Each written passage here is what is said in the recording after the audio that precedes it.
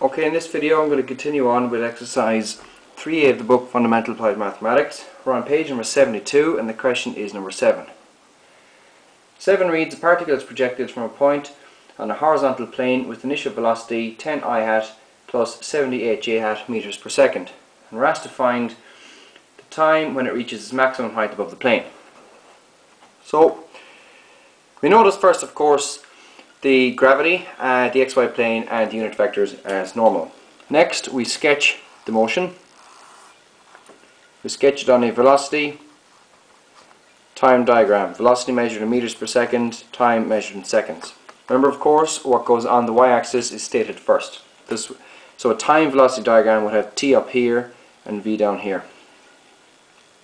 So the first thing is we draw u the initial velocity vector which is equal to u sub x i hat plus u sub y j hat.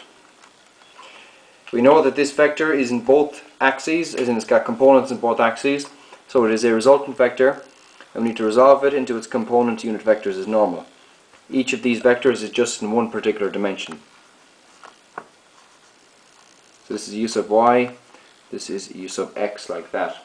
We're told that u sub y is equal to 98 and u sub x is equal to 10.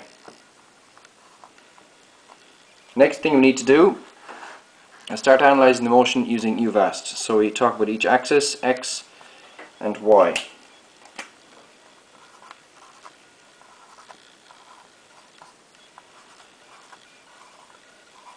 need to fill in the information we know. We know this is 10, this is 98, this is G, and this is 0. Now time for both is T, that's unchanged. Next thing we need to do is fill in the other bits of information that we know. Using the formula V is equal to U plus AT, this is just 10, this is 10T.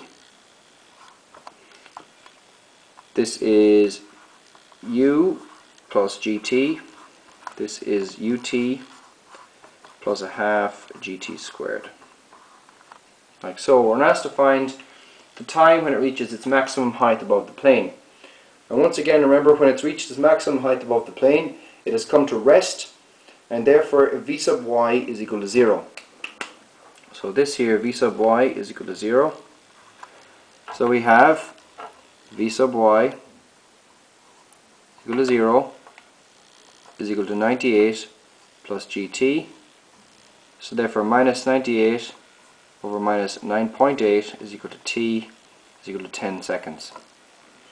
So after 10 seconds it's come to its maximum height above the plane. Like so. Let's just check that. Question 7. 10 seconds is correct. We're asked to find its horizontal range.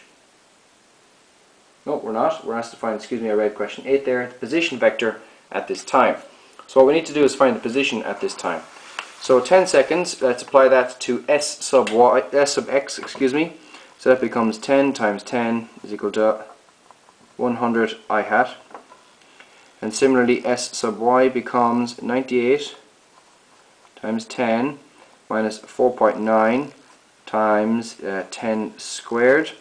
So that's 980 minus uh, 490. Alright, so that's equal to 490 j hat. Like so, is that correct? Yes, so therefore the position vector r is equal to r sub x i hat plus r sub y j hat and that's equal to uh, it's equal to 100 i hat plus 490 j hat like so. So that's that.